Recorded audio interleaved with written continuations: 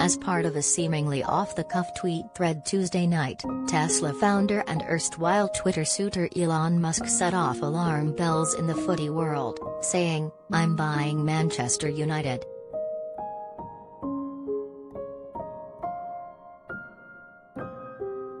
While the beleaguered club sits at the bottom of the Premier League rankings following a humiliating 4-0 loss at Brentford on Saturday, and as fans would like to see current owners, the Florida-based Glazer family, exit the stadium, there was mixed immediate response.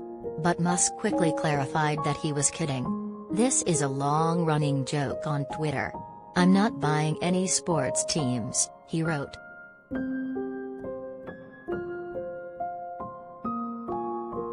Still, he added, if it were any team, it would be Man U they were my fave team as a kid.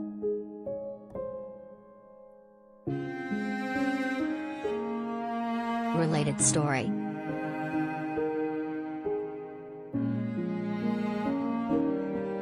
Elon Musk sells more Tesla shares to pay for Twitter in case he loses court battle and is forced to buy it.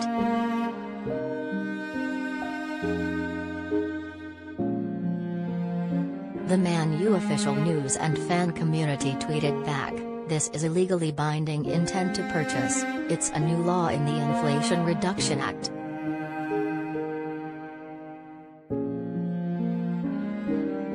For The Guardian, buying United, one of the biggest football clubs in the world, would have cost Musk at least £2 billion, $2.4 billion, according to its current stock market valuation.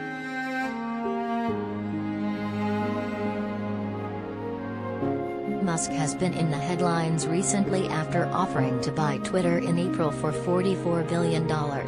But the market dipped along with Twitter stock, and he appeared to become concerned about the number of fake, or bot, accounts on the platform, engaging in a tit-for-tat with CEO Parag Agrawal over Twitter's disclosures or lack thereof.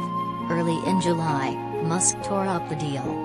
Twitter sued him and a speedy trial in Delaware Chancery Court is set for October 17.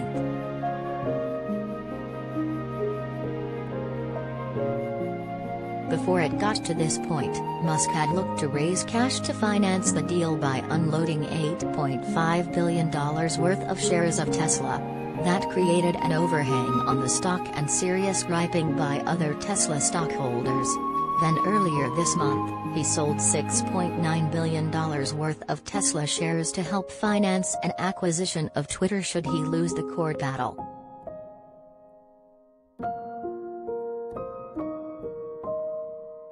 Musk also recently wrote a column in the official publication of the Cyberspace Administration of China, the agency that oversees data security for companies such as Alibaba and Tencent, and works with other government entities to censor online content, saying that his greatest hope is for humans to create a self-sustaining city on Mars.